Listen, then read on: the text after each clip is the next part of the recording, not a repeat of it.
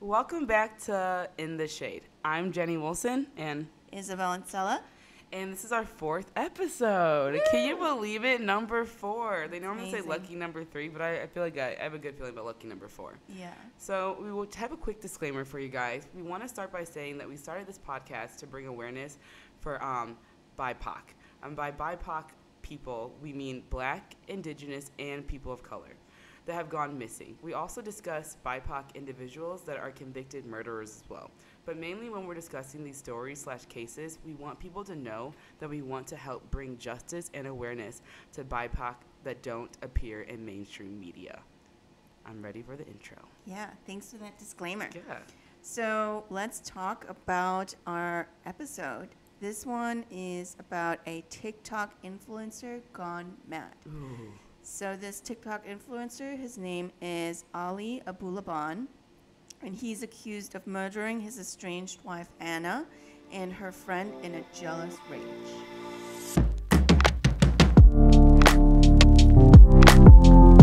All right, do you want to tell us who are the Abulabans? Yeah, who are the Abulabans? I'm so curious to know. Um, but lucky for you, I do know. okay, anyways, I won't do that again. Ali is 29, born in Staten Island. His family originally migrated to uh, the U.S. from Palestine. Ana was 28 at the time of her death and was also born in Staten Island and had a fun fact and had a science degree from the Philippines. So she was super intelligent. They met in Japan on a U.S. military base about seven years ago. He was later kicked out of the military. First of all, how the fuck do you get kicked out of the military? I just, Uh, that's like really hard to do. Yeah, that's definitely an accomplishment right there. Yeah. They don't, I mean, you have to have done something Like, pretty significant. you have to do some like f- really like messed up shit to get like kicked out of the military. That's so intense too. Yeah. So yeah, that part is crazy. Ali and Ana married in 2017 and had a five-year-old daughter living in a luxury condo in San Diego. Not the daughter, daughter, the whole family. they live in a nice high-rise in San Diego.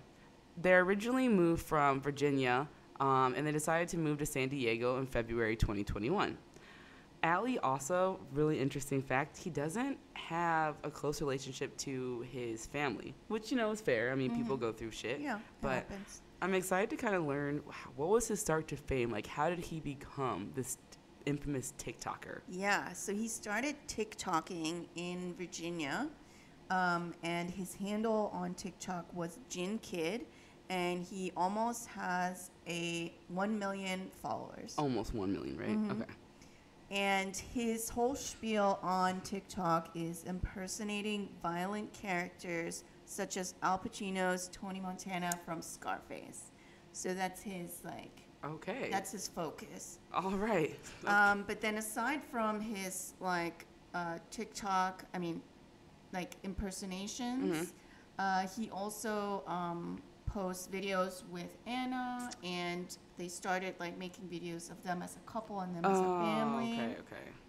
And they would post videos uh, with captions like, "When your partner is your best friend," and "When your relationship is drama free," Oh. and it would be like them dancing Yeah.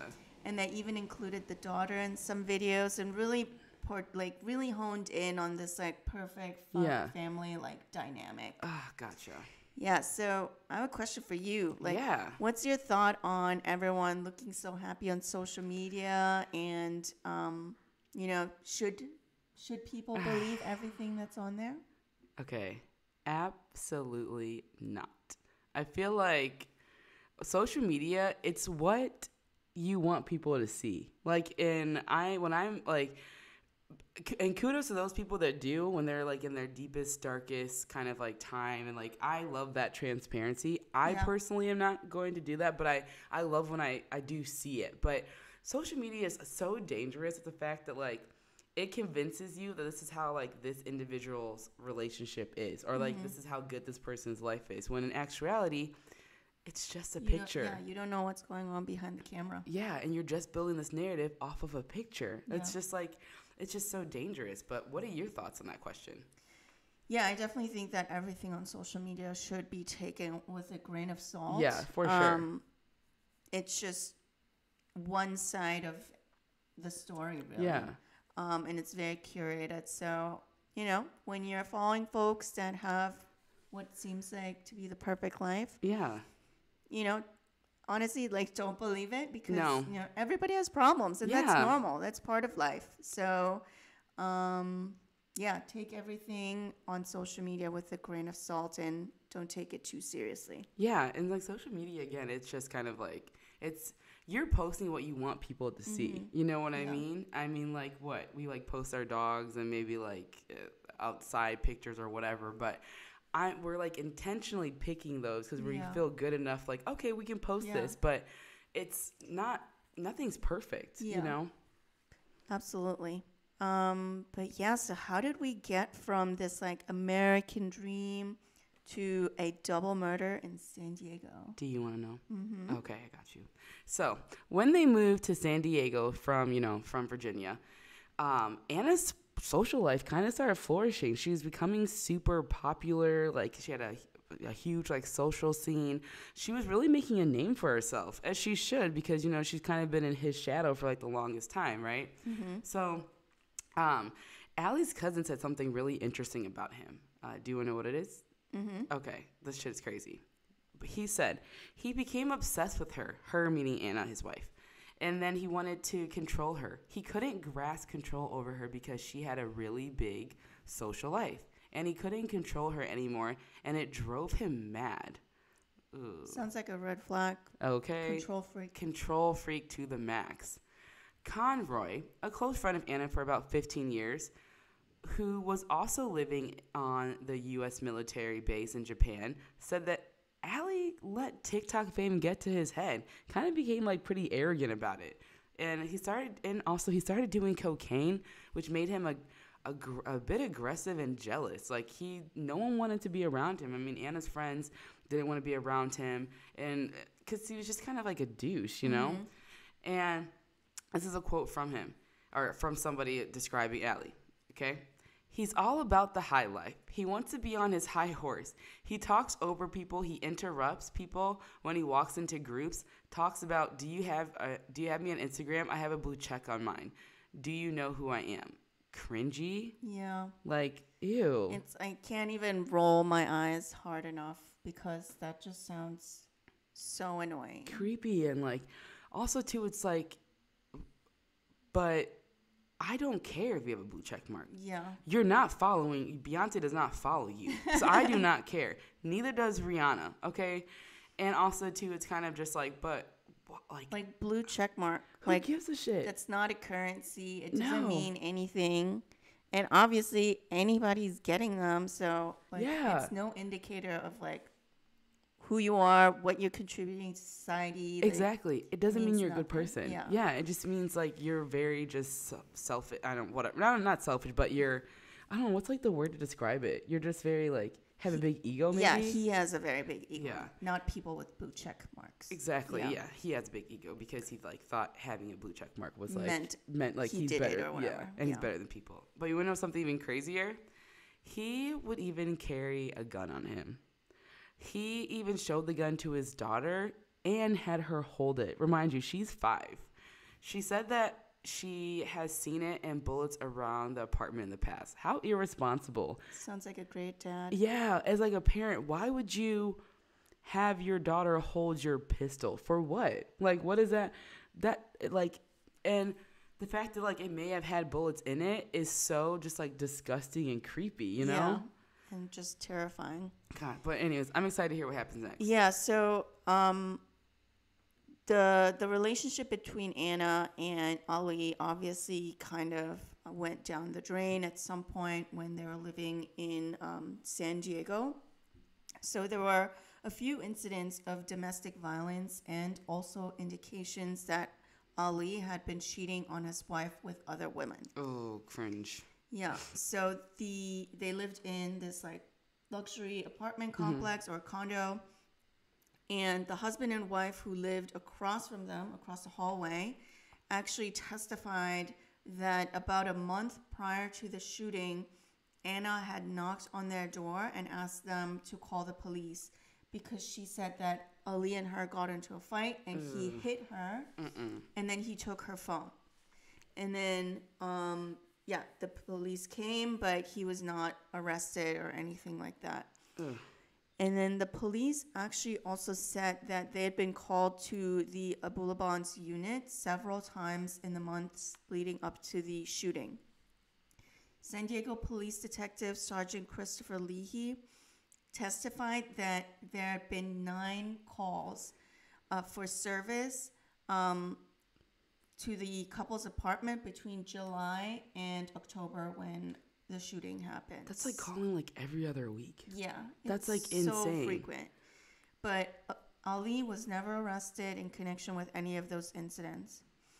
But obviously, all of these calls and all of these incidents of domestic violence are like chipping at Ana. So Ana asked Ali to move out of their home on October 18, 2021, because she's just like fed up with him.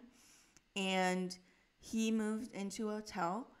Uh, she actually planned to file a restraining order, um, but uh, s- since his murder, uh, since her murder, it's unclear what the status of that was and if she actually did file it. And also, this is a really weird, creepy part.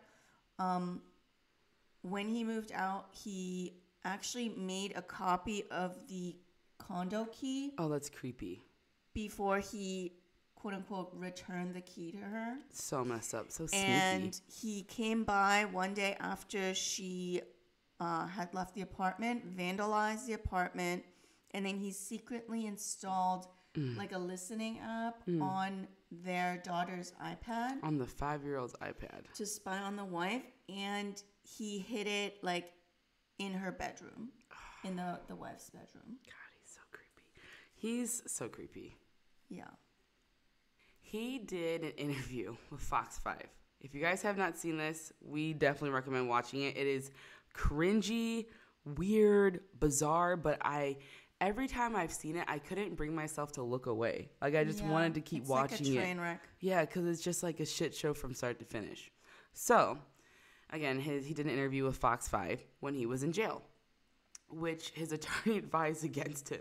Sounds like a client from hell, but that's just me. Well, he actually turned out to share two different versions of his story. So he just uh, essentially like incriminated himself on, Yeah. on, like national, like I don't want to say national television, but that local like channel news Yeah. or whatever, you know.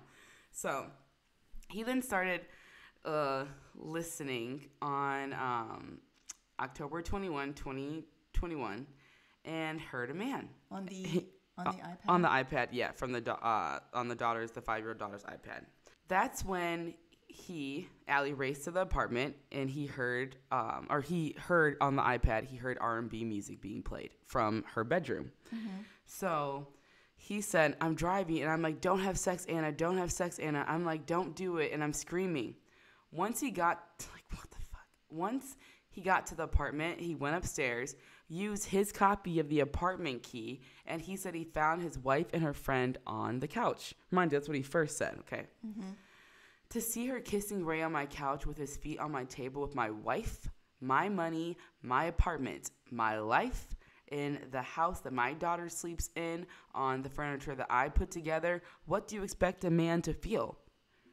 I just hate everything. Oh, says. God. I mean, like, it just is cringy and creepy. Yeah. You know what I'm saying? Like, it. I don't know. I feel like this was like this interview was like a really good opportunity for him to like maybe get some empathy points. or Yeah, and like clear the air or something. Yeah, but he, he just sounds arrogant. He's like, my wife, my money, my apartment, my life. Yeah. Things I built. I, my, my, my, my, Ah, my. It's just so. like cringy Gross. and it's yeah it's like the sense of entitlement and i'm i'm thinking that he started doing this because it was first like him in the spotlight and then ana in the background and it seemed like once ana moved to san diego kind of like met her match and you know was becoming more popular and especially in the social life it was like he wanted her to not have those things he just it seemed like he just wanted her to just be in the shadow like Yeah. fade in the background like mm-hmm. she's been doing because everything he keeps saying like my this, my that, my this, my that. Just like what? Yeah, not our money. Yeah, our not- apartment. and they're married. life. Yeah, there's no our. It's just my, my, my, my, Yeah. my, and that's terrifying. And remind you, that was just version one. So, according to the police, Ali shot 29 year old Rayburn Cardenas Barron three times in the head and then shot his wife in the forehead. Ice cold. Oh my gosh. That this man is an awful person. Ali called police around 3:10 p.m. on the day of the shooting, telling a dispatch dispatcher that he arrived at the 35th floor high-rise apartment, luxury high-rise apartment, and found both victims dead in the living room. But remind you, didn't he say he saw to see her like his quote again to see her kissing Ray on my couch with his feet on my table and so on? He's saying that he saw that. Yeah, he saw them alive. Yeah, alive and like kissing on his couch, right? And like that's what I don't get, but I'm yeah, it doesn't make any sense. So the dispatcher asked him to remain at the scene, which makes sense, right? Because like why else would they not want him, you know, to wait at the scene? She said uh, he, uh, said he had to go and ended the call. There is hallway video of him leaving the apartment seconds after gunshots are heard. Other tenants have also confirmed seeing him run out of the apartment, you know, and hearing gunshots, fr- like frailing in the wind because he was just a hot mess after he mm-hmm. shot two people. And then on the Nest camera of their apartment, it actually also shows him leaving 12 seconds after the gunshots. Ugh. And on top of that, surveillance of the complex show him running away, calling his mother and confessing killing of his wife to her. The thing is, like, the, but they saw you. How are you like? You can't. How can you get out of that? know. I don't know. And then Abulaban then went to pick up their five year old daughter from school. And they tried to drive somewhere, but police stopped him on the interstate. And they still found a gun on him. Okay, do we need to talk about how this man is an awful criminal? Do we need to talk about it? Because we all know what you do with the murder weapon. You do not bring it with you. You stash it. You hide it. You don't bring it with you. He's in San Diego. He could easily go and throw it in the ocean. We're not promoting we're not promoting that you do things like that, but I'm just saying he's so close. It would make sense for him to toss it in a lake or Yeah. something. Or a pond. We'll take a pond. And Shit. also, he, also, he's always playing these like criminal characters. Yeah. So, like, you would did think you not watch any of the movies? Right, And get like- any idea of like how to do this? like he pretended like he literally pretends to be people from Scarface. How does he not know like what to do? Like I don't know. He dropped the ball there. it does not that does not make any sense. But in the Fox interview, the interviewer asked him what he was doing and hmm. where he was going with her. And he claimed that he was going to take her to a safe location at a relative's home an hour away. And then he was going to turn himself in afterwards. Why would you turn yourself in if you didn't do anything? I don't know. But then he said, I wasn't running away. I wasn't doing anything. I have nothing to hide. So, what is. So, first you're saying you're going to turn yourself in, but then you're saying, I wasn't doing anything. I have nothing to hide.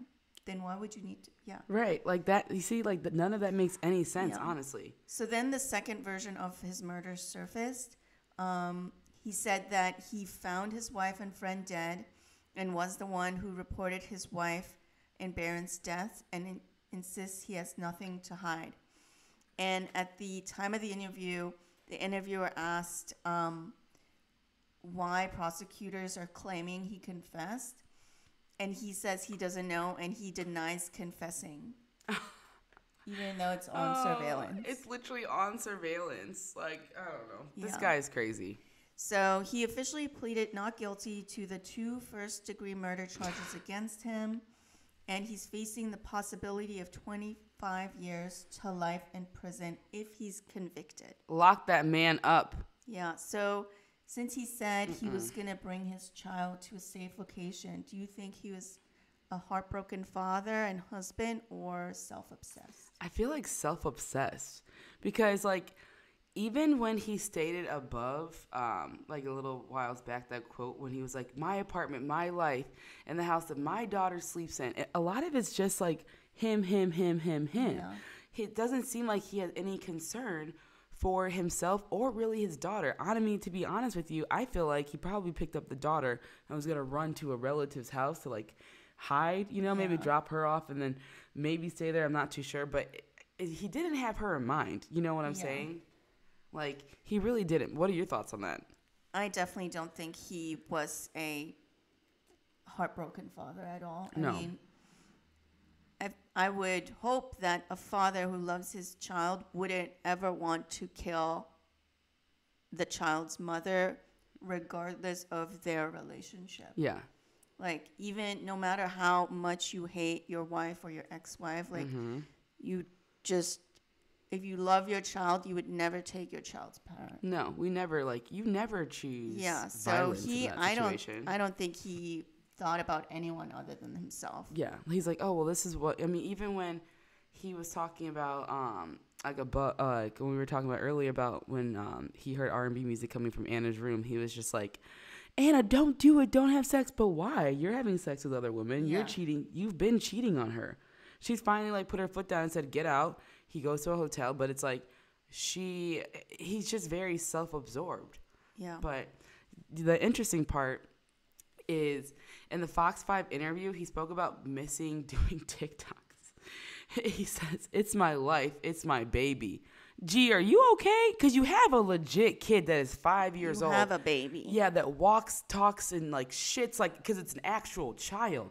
TikTok is temporary. Yeah. You know what I mean? it's like, a career. It's not your life. It's No. not your baby. No, it was just, and then it's like on top of that, it's like you can't like that statement. We can't even feel bad for because Yeah. he intentionally took that his TikTok career away from himself by killing his partner that he's doing TikToks with. He's mourning his like the loss of his quote unquote, like the loss of his career more than the loss of his wife or his child just being all Yeah. alone now. Yeah, and that's the part to me that is so crazy.